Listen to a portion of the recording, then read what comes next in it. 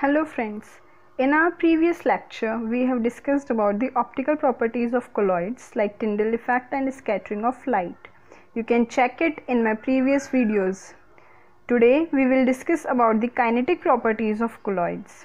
But at first, one should know the meaning of kinetics.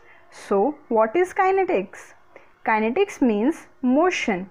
So, the motion related properties will be discussed here. Basically, it includes various properties that relate to the motion of particles with respect to dispersion medium. The motion is induced by various factors. It can be either thermally induced like Brownian movement, diffusion, osmosis.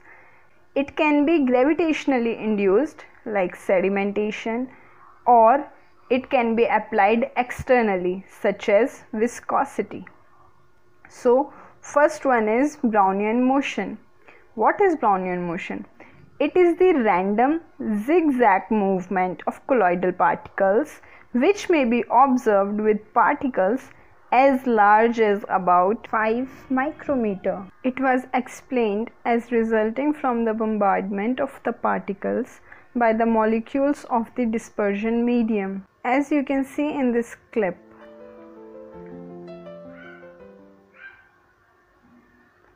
The motion of the molecules cannot be observed of course because the molecules or particles are too small to see.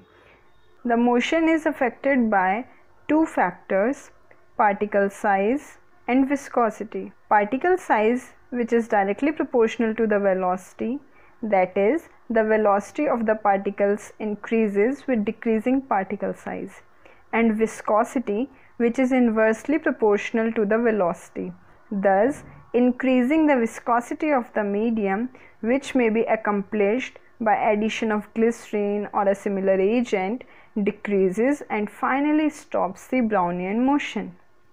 But it remains unaffected by the nature of colloid which is involved. Now let's discuss what's the cause behind the motion is. What actually happened is when a particle is present in a dispersion medium, it experiences force from all directions. When all these forces are equal, they cancel each other and no movement will take place.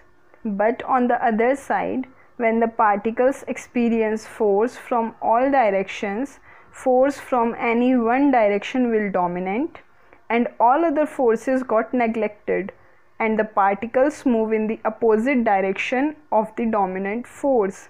That is, dominant force push the particle in opposite direction. As you can see in this clip, when a particle of dispersed phase got hit by the particles of dispersion medium from various directions, the dominant force pushes it in the opposite direction. Next is diffusion. Particles diffuse spontaneously from a region of higher concentration to one of lower concentration, which is a direct result of Brownian motion.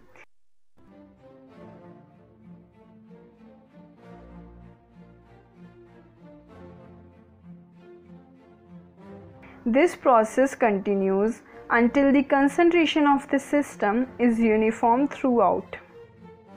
The factors which affect the diffusion rate are best described by Fick's first law. Fick's first law is written as according to which the amount dq of substance diffusing in time dt across a plane of area S is directly proportional to the change of concentration that is dc with distance traveled that is dx. D is the diffusion coefficient, the amount of material diffusing per unit time across a unit area when dc over dx called the concentration gradient is unity that is 1. It got affected by various factors among which three are here. First, particle size. Second, temperature and third viscosity of the medium. Particle size and temperature are directly proportional to the velocity of the molecules while viscosity of the medium is inversely proportional to the velocity of the molecules. And next kinetic property of colloid is sedimentation. It is the process of settling of particles with time under the influence of gravity as all the particles present in dispersion are either smaller in size or larger in size with respect to each other. As smaller particles are lighter in weight they experience low force of gravity and high brownian motion due to which they require more time to sediment. While those particles which are larger in respect to others are heavier in weight and experience high impact of gravity. On the other side, due to heavy weight, they also have less Brownian motion, due to which particles settle down in lesser time. Now comes the last kinetic property of colloids that is viscosity. Viscosity is the resistance to flow of particles under stress conditions. When force is applied on a particle, it can either move fast or slow depending on the resistance experienced by it.